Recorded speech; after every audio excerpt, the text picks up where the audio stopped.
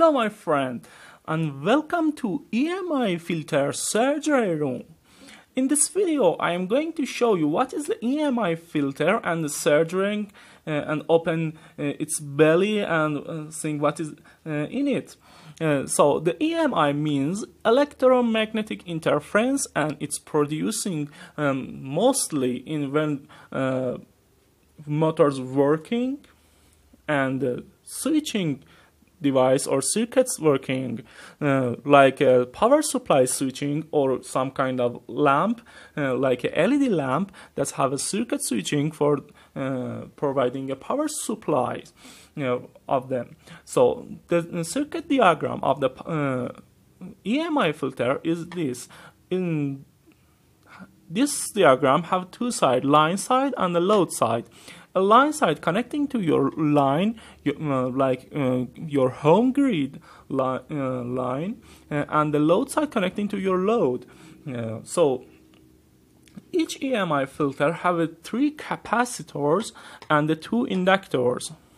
And you can watch that uh, the value of the capacitor and the inductors here, and the um, a little uh, no, uh, point that uh, the C1 capacitor number 1 is MCATI form and we can watch this here. So when I uh, buying an EMI filter from the store, uh, it's it's that EMI filter.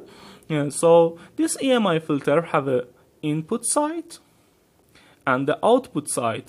Most of the time, the ground wire uh, color uh, yellow and green and its uh, ground output wire so this EMI filter providing uh, can uh, providing just about 3 ampere in his out in this its output. So uh, when I what I need a bigger ampere, I must buying another ones. And this one uh, values uh, caching it's uh, two uh, multiply than this one. So when I opening the EMI capacitor belly and uh, see it's a really simple uh, circuits uh, uh, so maybe it's uh, laughing here and why its cost is really bigger than ones so when I see this capac capacitor here it's a really uh, easy and uh, not good uh, quality Chinese MCATI, MCATI capacitor and it's really easy to find in the story. Um, a toroid core with a uh, with a green coating that providing a core for the inductors and uh, uh, each inductors have about a 10 uh, round wire about is uh, 10 round and it's a 10 round uh, 10 round here and uh, another 10 round and 10 round here. And uh, two really cheap capacitors here so when I uh, need to uh, increase uh, increasing this EMI filter current mm, can provide for my load I just need to changing its wire and really easy. I think it's about a, uh,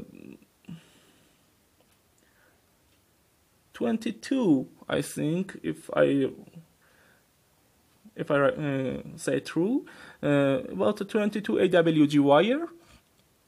And I can um, uh, using a, uh, another wire with a bigger diameter uh, and um, my output current easily become increase. So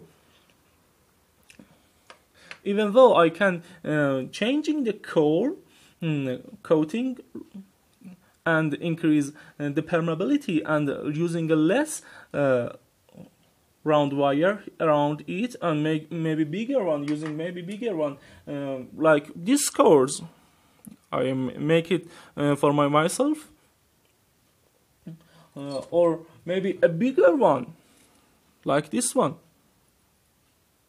So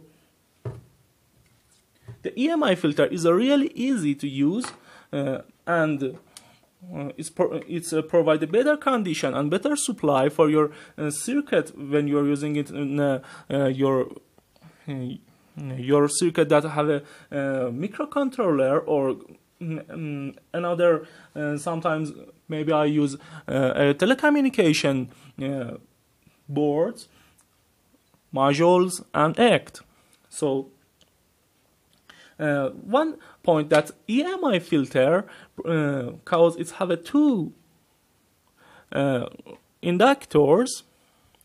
It's uh, some uh, it's a take effect uh, some in change in your output uh, phase of your sinusoidal input I mean it's if you are entering the EMI filter a sinusoidal wave and that's it's starting in a zero from this side uh, and when you catch this uh, in output in a load side and uh, see it with oscilloscope uh, you can see that uh, it's have a little shifting phase uh, and it's a effect of the EMI filter in your circuits. Thank you for watching this video and have a good time.